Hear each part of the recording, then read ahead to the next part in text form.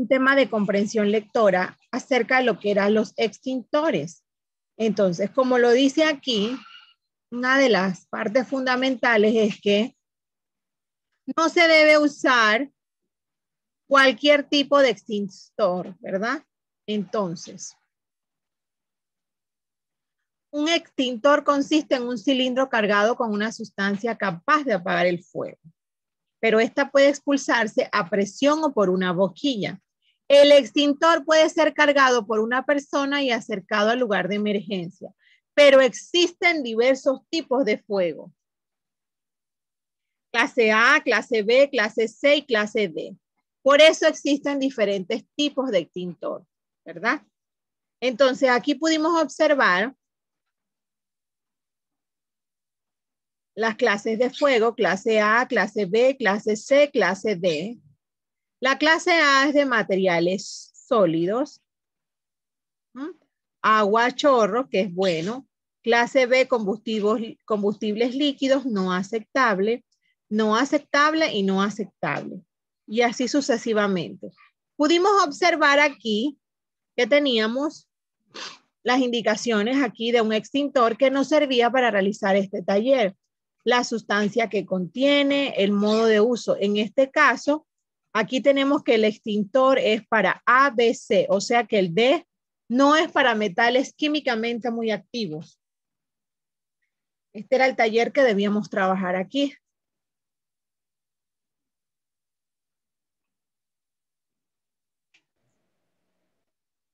Vamos, Adrián.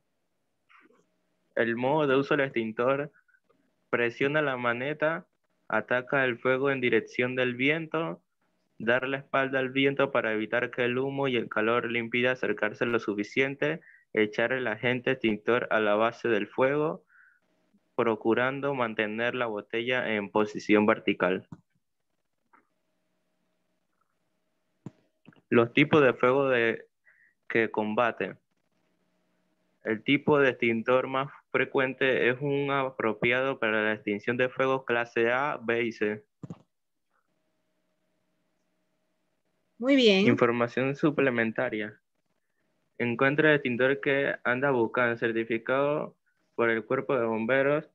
El extintor es una, es una base muy especial para los bomberos porque es, es, un, es un implemento que se usa todo el tiempo para apagar el fuego y es un, es un combatiente perfecto. Excelente, excelente. ¿Y hiciste el punto 2 y el punto 3? No, profe. Ok.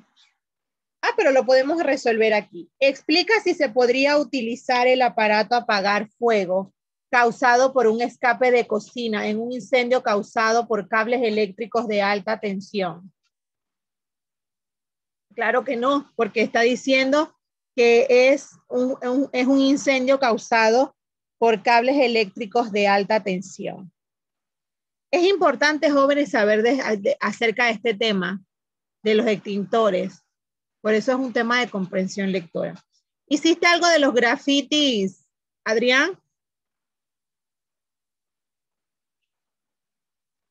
Adrián hizo algo de la página 229. La página 2, no, profe. Ok, le falta trabajar entonces la página 229. Bien, jóvenes, desde la página 240 nosotros hemos estado viendo los tipos de cartas. Más ustedes que son comercio deben manejar muy bien los conceptos de cómo realizar los tipos de cartas. Ya vimos la carta formal, en la página 240, vimos la carta formal, vimos cuáles son esos elementos que conforman la carta formal. Tenemos también la carta de felicitación, de invitación, de solicitud, el, encabezado, el cuerpo, la carta de solicitud. La vamos a ver en la página 246.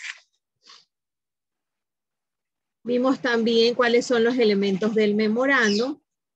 Vamos a la página 246. En esta página podemos observar la carta de solicitud. Lo primero que debemos realizar es preparar un guion, recopilar la información y redactar el documento. A través de este tipo de cartas expresas una qué cosa, una solicitud a un organismo público o a una autoridad. ¿Qué debo tomar en cuenta para esta carta? Primero la fecha, a quién va dirigida y debe ser una carta concisa y precisa. ¿okay? Aquí dice, Juan Contreras, me, me identifico y muy respetuosamente va a exponer, porque es una solicitud va a exponer lo que está solicitando, vaya la redundancia, ¿verdad? Seguidamente tenemos lo que son las cartas circulares. Como les he dicho a ustedes, necesitaba que trabajaran tres tipos de carta en su cuaderno, ya sea una carta formal, una carta formal, una carta de solicitud, un memorando, ¿ok? para practicar en su cuaderno de español. Aquí tenemos el lugar y la fecha. Tenemos aquí estimados colaboradores, datos del emisor. Esta es una carta breve. Bien. Aquí podemos ver las cartas de pedido. Estas son de igual manera lugar y fecha, el destinatario, el pedido. Pongo respetado, señor, dos puntos con respecto a su catálogo y voy haciendo el pedido. Solicitamos hacer la entrega. Ahí está. Atentamente, coma y el nombre. Estamos en la página 248. Tenemos la carta de cotización. Se pone la fecha, se pone aquí, respetada señora García, y automáticamente se le pone lugar y fecha, destinatario, producto, condiciones de la solicitud y el responsable. Recuerden que aquí va coma. Bien. Vamos trabajando en su cuaderno de español, por favor, redactando ya sea tres tipos de cartas, ya sea de pedido, de solicitud, de cotización, una carta formal o un memorando. ¿Me escuché, jóvenes? Vamos trabajando, por favor.